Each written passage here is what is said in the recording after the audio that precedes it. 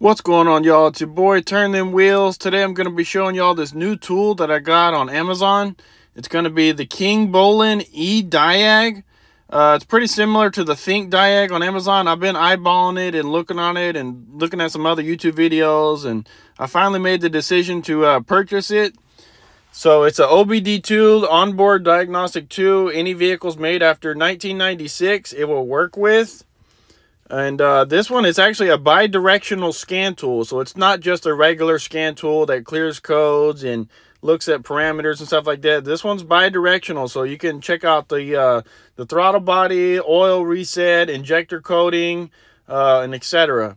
So on the box, uh, it says eDiag Automotive Diagnostic Device. Turn your smart device into a professional technician's diagnostic tool.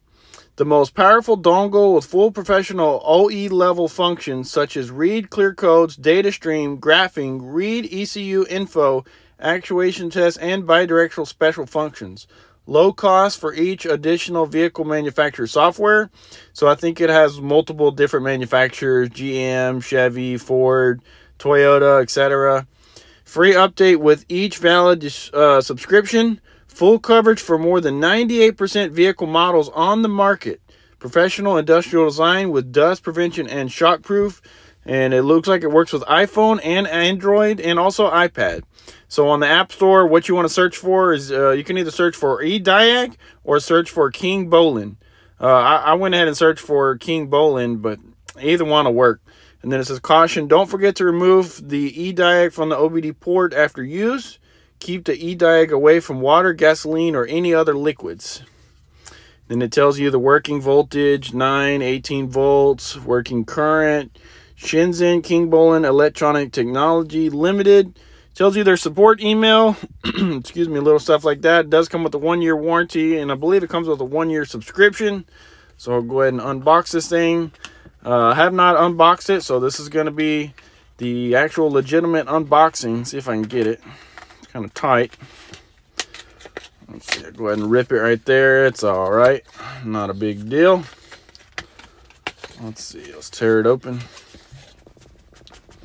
Kind of stuck, got some paperwork. You gotta pluck that and file it to the side. We'll set it down right here. Let's see. Take it out. Let's see. This is how it looks right here little OBD port. And that's how it goes. So we'll go ahead and get it plugged in.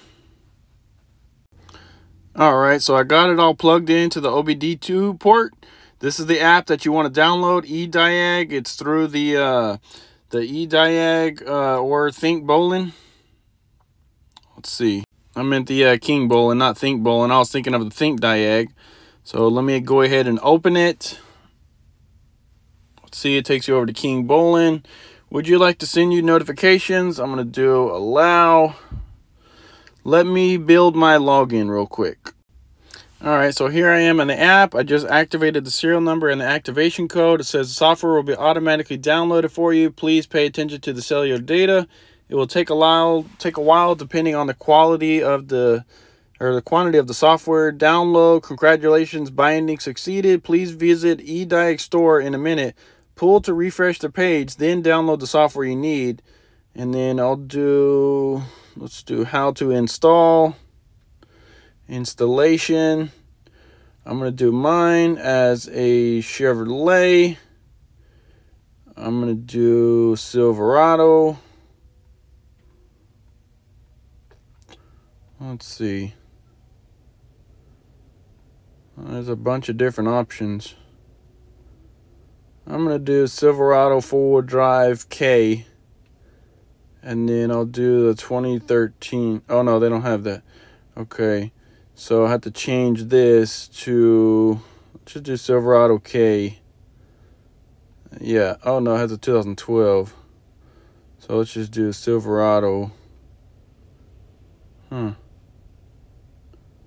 Let's do. Let's see what the C. They have it as C and K. I think the C is a two-wheel drive and the K is a four-wheel drive. I'm just added a Silverado C. and do, yeah, 2013 model. How to install, do found it at A. Installation is successful. Let's do all system diagnostics. Let's do, I'll turn it on.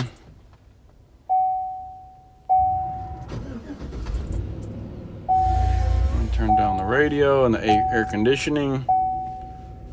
And let's do a VIN scan. Like to use Bluetooth. So it's gonna grab the firmware. Let's see. We'll check it out. So right now it is beeping down there. The light changed from green to blue.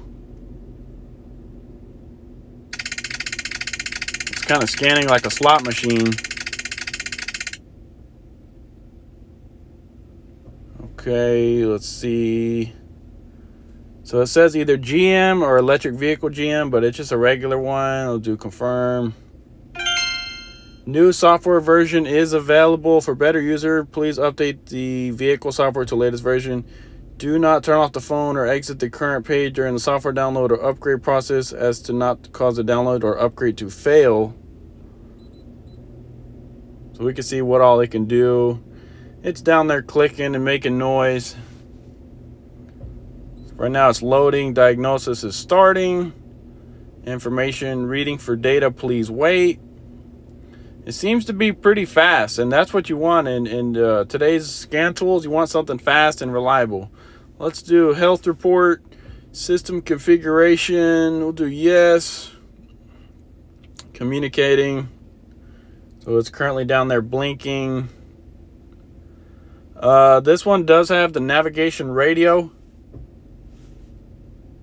Uh, automatic or manual air conditioning. This one does have the automatic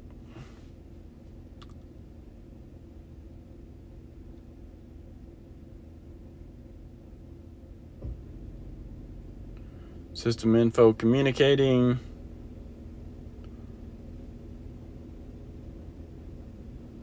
Still loading.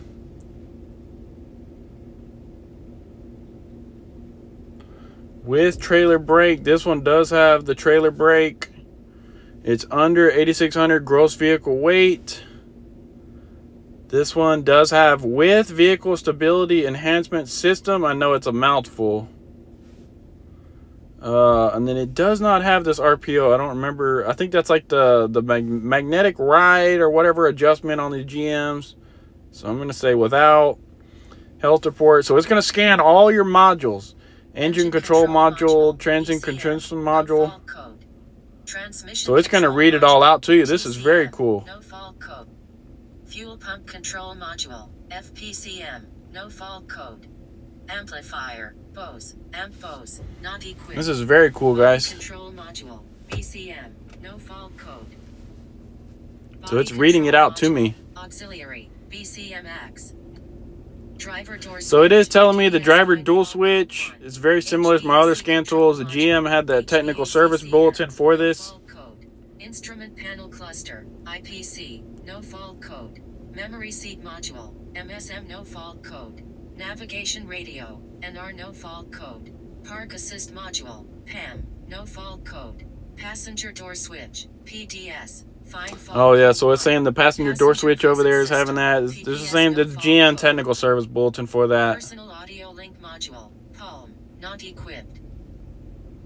Rear heated seat module, RHSM, not equipped. RHVACRSA not equipped.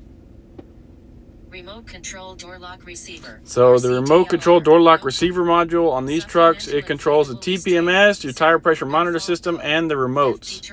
So that one's good. This is a very cool tool, guys. I'm going to highly recommend this tool.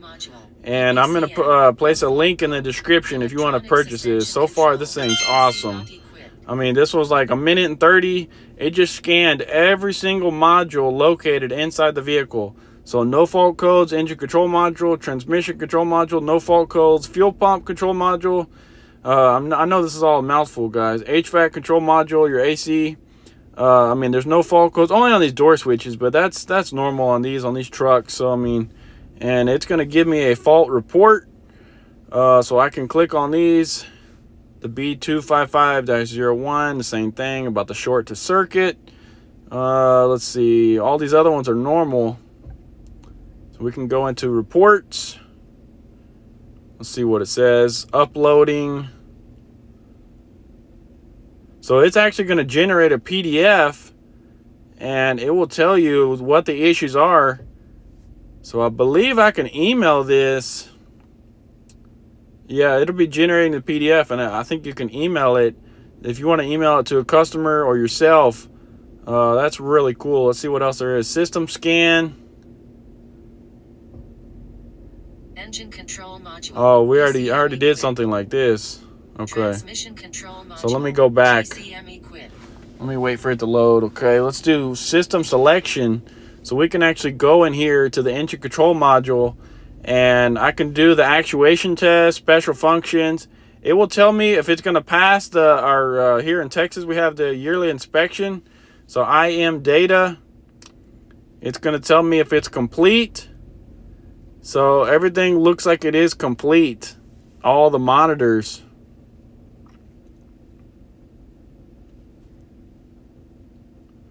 Let's see, let me go back. Let's do IM system status. Okay, so it's saying test completed. The catalyst, yes. The evap, no. Heated oxygen sensor, yes. Exhaust, EGR, recirculation, yes. Confirm. So that's very cool. Let's do read data stream or data stream, however y'all want to pronounce it. Let's do engine data. We're going to do engine speed, idle speed, engine coolant temperature, uh, and mass airflow. And let's do confirm.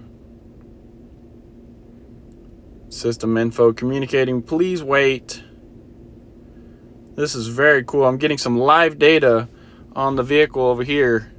And it's telling me everything I need to know.